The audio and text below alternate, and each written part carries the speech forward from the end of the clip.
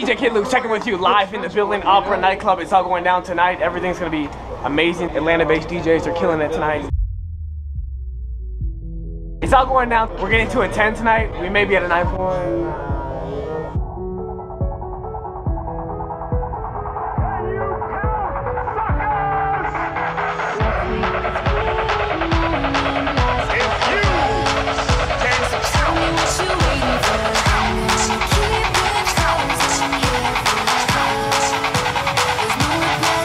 Now look!